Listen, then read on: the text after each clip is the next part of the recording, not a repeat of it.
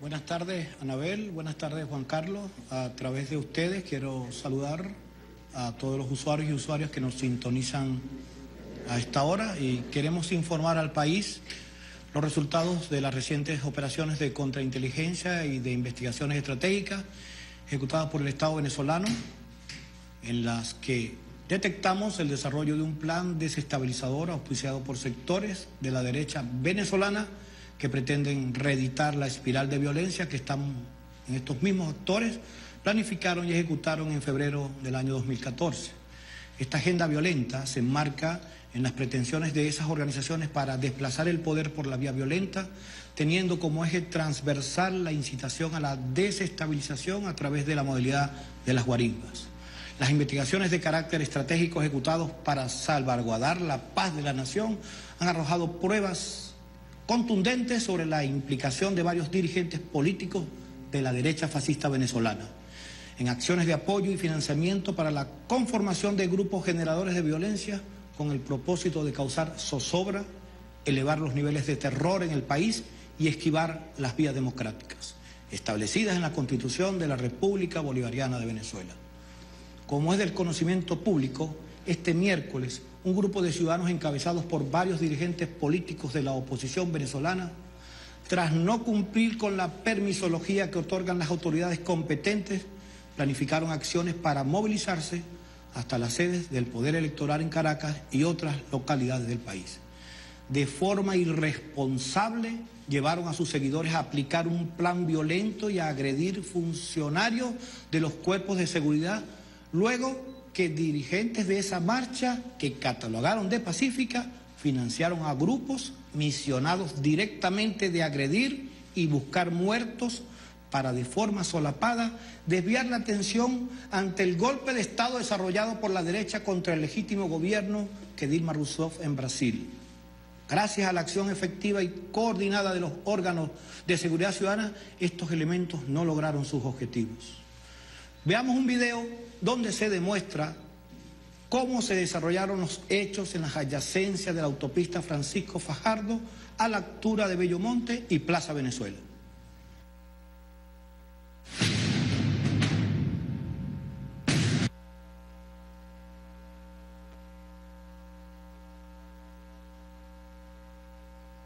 altos índices de homicidio, secuestro, robo, paramilitarismo, sicariato, desplazados y muertes violentas. Adelante video, por favor.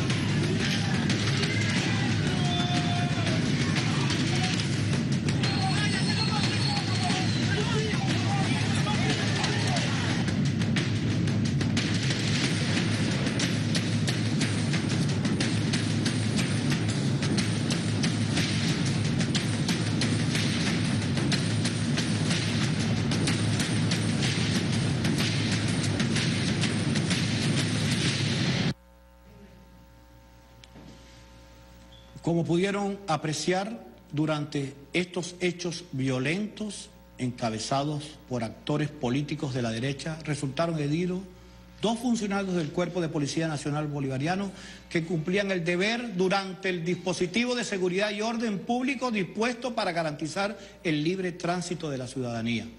El oficial agregado de la Policía Nacional Bolivariana, Héctor Idemar Garmendia Olivares, presenta la mandíbula destrozada y perdió varios dientes superiores a consecuencia del impacto de una piedra que golpeó su humanidad.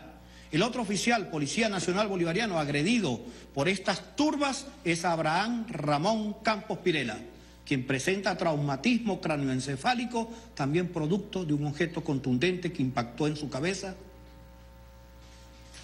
estas mismas acciones fueron las que movieron a grupos violentos en el estado Zulia, luego que se decretara recientemente el plan de administración de carga eléctrica por los efectos del fenómeno climatológico El Niño, a través de las redes sociales, varios sujetos que son contratados por activistas políticos de la derecha nacional reclutan e incitan a personas a guarimbiar con quema de vehículos y cauchos, cierres de vías y atentados contra instituciones privadas y públicas.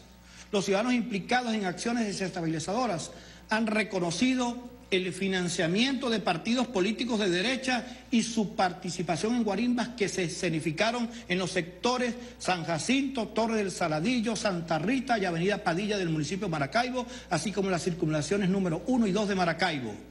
Por estos hechos resultaron aprendidos Jimmy Hello Chevip, imputado por los delitos de obstaculización en la vía, uso indebido de insignias, daños a la propiedad pública, cooperador inmediato, hurto calificado y acabillamiento.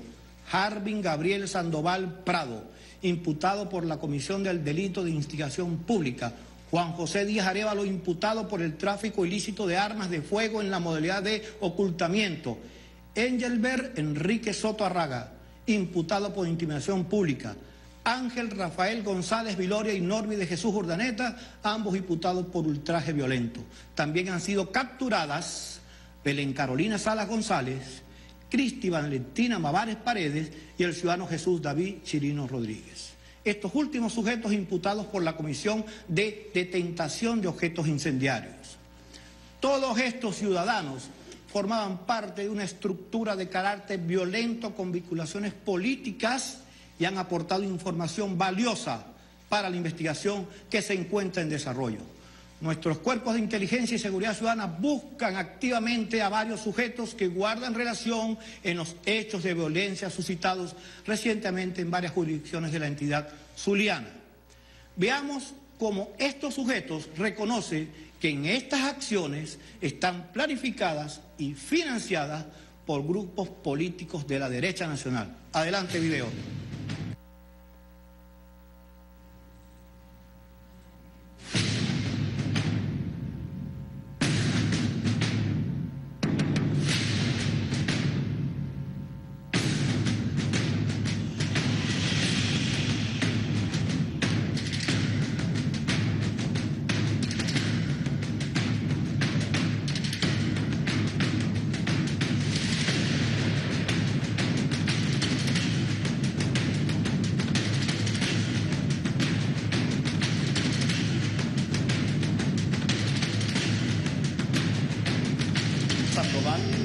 Como en su cuenta, a 9-10 de 1987. Personas.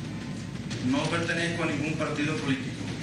Solo he sido patrocinado por Voluntad Popular, específicamente por Lester Toledo, el cual eh, económicamente nos ha ayudado reuniéndonos fin de semana pasado, por cada reunión dándonos 50 mil bolívares alrededor de 50, 60 personas, concentrándonos y motivándonos a la desestabilización y a las manifestaciones y disturbios.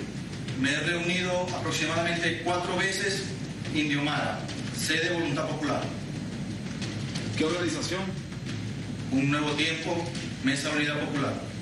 Nos influyeron por medio del dinero, pues. No, me pareció una suma por cada reunión y cada protesta de 50 mil bolívares, 60 mil bolívares. Por medio de las reuniones con dicho personaje, acepté tal favor.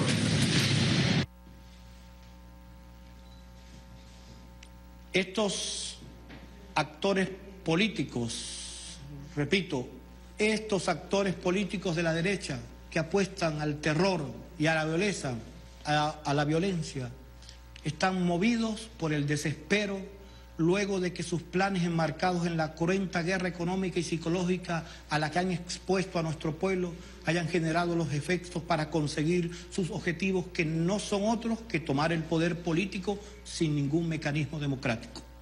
Tenemos pruebas de las vinculaciones de estos factores violentos con líderes políticos de la entidad, diputados nacionales y empresarios de empresas transnacionales. Sea quienes sean, aplicaremos el peso de la ley contra aquellos que intenten sumir a nuestro pueblo en la desesperanza y el terror. No habrá impunidad para los violentos. Nuestro objetivo es firme, proteger a nuestro pueblo en su voluntad de paz. Aplicaremos la justicia con fuerza la fuerza con justicia. Gracias por su atención, seguiremos informando.